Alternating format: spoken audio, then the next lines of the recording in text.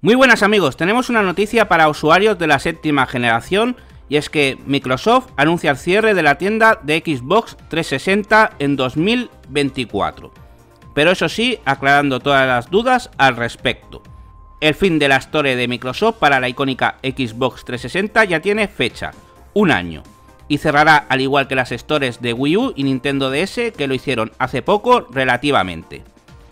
A partir del día 29 de julio de 2024 ya no se podrá comprar juegos, DLC ni contenido de entretenimiento de Xbox 360. Al igual que dejará de funcionar la aplicación Películas y TV de Microsoft.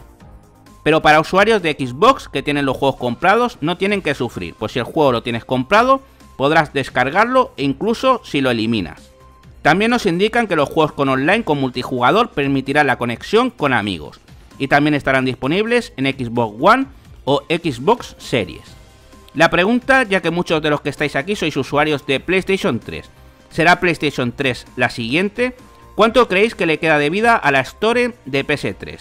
Dejármelo saber en los comentarios vuestra opinión. Y bueno amigos, hasta aquí este vídeo, en el comentario fijado dejaré el enlace del nuevo canal Play Games, el cual se agradece muchísimo si os pasáis por el canal secundario a echarle un vistazo, que seguro alguna cosa os puede interesar os suscribís y activáis la campanita, se agradecería muchísimo. Nos vemos en el próximo vídeo, hasta la próxima amigos.